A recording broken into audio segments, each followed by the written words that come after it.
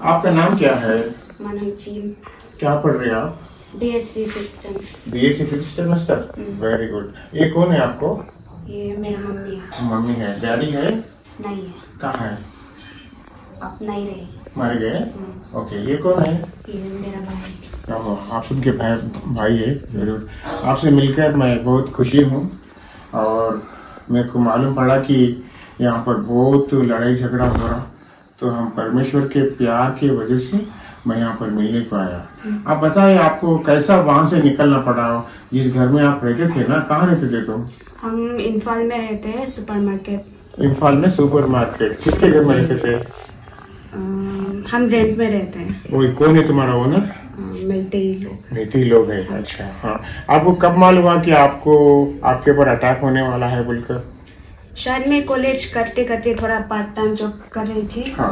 तो थ्री के दिन को मैं काम करने गई। तो हाँ। दिन में फ़ोन भी नहीं पकड़ पा रहा था तो हमें एग्जैक्टली नहीं पता कि ये होने वाला है वो होने हाँ, वाला हाँ। है। तो शाम को जब ये सब हुआ तो यहाँ सुल्तानपुर से मेरे आंटी का कॉल आया।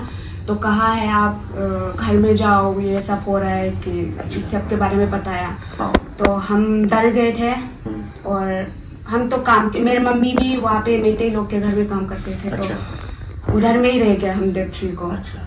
और जब हमने बोला कि घर में जाके थोड़ा कपड़ा बदलने के लिए लेकर आती है सब और यहाँ से यहाँ पे थोड़ी देर के लिए रुकते हैं जब ये हो रहा है। हाँ। तो वो बोली अभी तुम लोग अकेले मत जाओ मैं छोड़ने आता हाँ। हूँ। तो वो घर में छोड़ने आए हम भी थोड़ा सा सामान कपड़े ऐसा सब जैसे वैसे आ गए तुम हाँ, सामान लेके आए?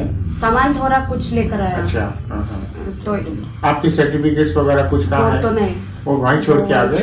क्योंकि हमें नहीं पता था कि ये सब इतना दिन हो इतना दिन चलेगा ये सब। हम्म, फिर क्या हुआ? फिर उन लोगों के घर में हम सात छह या सात दिन रहे हाँ। छुप छुप के हाँ। कि ताकि किसी को पता ना चले। छुप छुप के थे आप उधर? हाँ, विंडो के पास भी नहीं जा रहे थे क्यों चुप रहे थे तुम? क्योंकि डर लगता है और वो मेथी लोग आगे मारेंगे बोल के? हाँ। ओके। हम्म, हम्म, हम्म। तो फिर वहाँ से निकल गए आप? डेट टेन के रात को उन लोगों ने हमें डेट नाइन के रात डेट टेन भी दस बज रहा था, हैं। बारह बज गए थे तो डेट टेन हाँ, हाँ। रात को हमें छोड़ने आया देसी के हाँ हाँ। तो आप सुरक्षित है? हाँ। तो यहाँ कैसे आए? डेट टेन को एस्कॉर्ट हाँ तो यहाँ कैंप में आए आप लोग? हम्म, हम्म, क्या करना चाहते हैं आप लोग? मैं बीएससी के बाद नर्सिंग करना चाहती हूँ। वेरी गुड वेरी गुड तो मम्मी भी यही कपड़े से आए तुम भी जैसे वैसी आए। हाँ। पूरा छोड़ के आ गए उधर हम्म, ऐसी परिस्थिति थी। दूसरे दिन क्या हुआ? दूसरे दिन कोई मार नहीं आपको मेथी लोग? हाँ हम तो डेट थ्री के रात को ही निकल गए थे। लकीली हमें कुछ हमें तो हमको सेफ़ हम तो सेफ़ थे लेकिन डेट फोर को जब वो लोग हमारे रेंट में हुआ हमारे घर में गए थे तो पूछा यहाँ पे ट्राइबल लोग कुकी लोग रहते हैं? तो कहाँ चला गया। तो घर का मालिक बोला वो तो कब का चला गया? तो वो लोग बोला सामान अंदर है तो सब तोड़ देते हैं।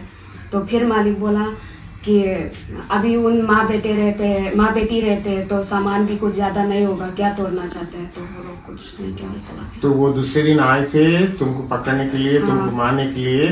जब ओनर बोला कि वो चले गए हाँ। तो वो तुम्हारे सामने सामान के बारे में पूछे ताकि वो सामान को तोड़े। हाँ।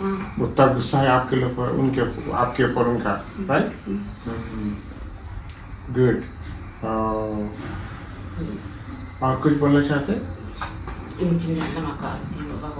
और जब हमारे आंटी गए थे मेरे सर्टिफिकेट लेने के लिए हम्म, तो घर का मालिक बोला कि अगर सामान मेरे आंटी ने पूछा कि हम्म। सामान वगैरह सब अच्छे से रखिए हम एक न एक दिन तो निकाल ही सकते हैं। तो वो मालिक बोला कि सामान अगर लेकर बाहर जाना है तो रिक्स लो आप और पैसा दे के लेकर चले जाओ।